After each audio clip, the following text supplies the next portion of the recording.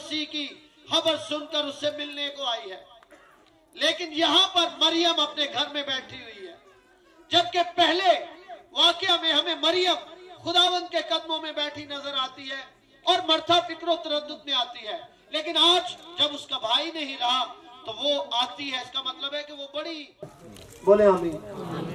अयुब के साथ एक बहुत बड़ा वाक्य पेश आया है। शायद ही हमारे साथ खुदा ना करे। लेकिन वो बड़ा मज़बूत था। सारी औलाद, सारा माल, असबाब एवरीथिंग हर चीज़ जाती रही।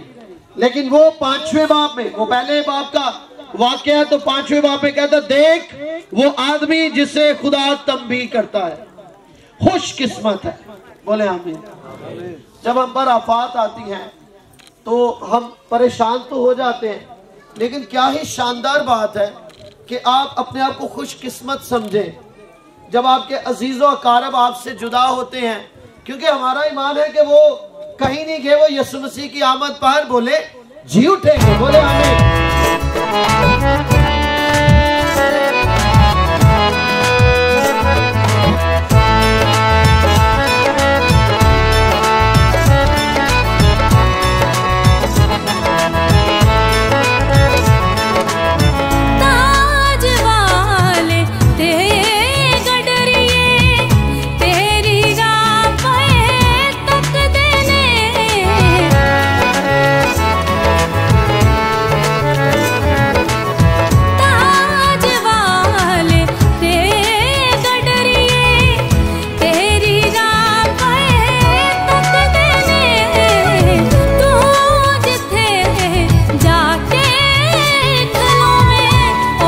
जगा